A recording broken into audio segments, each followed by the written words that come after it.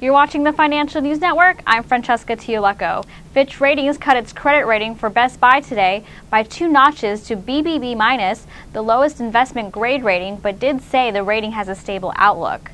Fitch cited the retailer's declining comparable store sales and weak overall performance compared to its peers.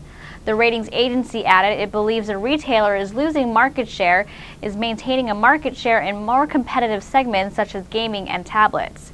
According to Fitch, overall, the technology march continues, and Fitch believes that it will be difficult for Best Buy to maintain its position in an increasingly competitive landscape. Shares of Best Buy are trading down 3.26% at $31.42. For more updates, stay tuned to the Financial News Network. I'm Francesca Tiolecco.